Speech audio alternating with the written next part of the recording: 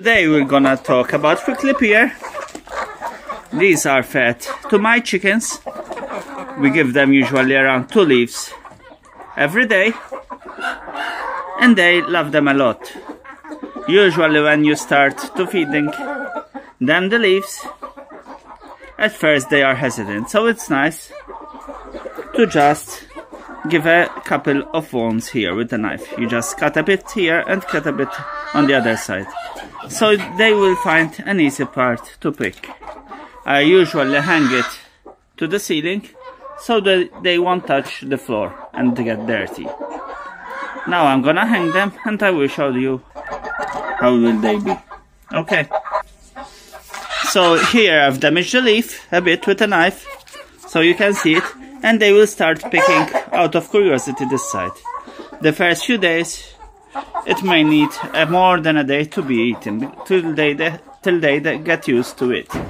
If you saw me handling the prickly pear with my hands, it's maybe because I have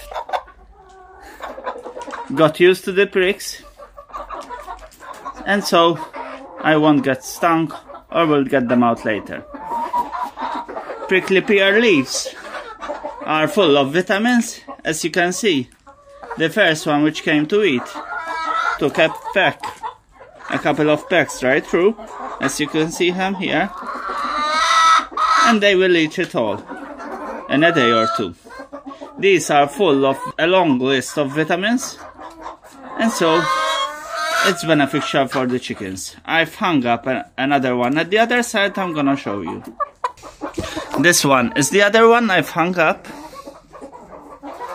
And as you can see, I didn't need to scrape it off because usually they will eat it too. This is the result of the prickly pear after one day. I can't say it has been eaten, nearly most of it. So we just take it off the hook and put it on the floor. They will eat it on their own time. Usually they don't eat the last part because it's hanging and when they pick it up it will usually move away from their beaks. The other one has been destroyed.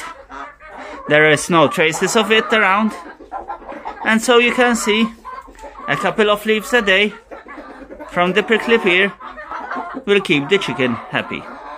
Hope you enjoyed this video. If so, give us a thumbs up and subscribe.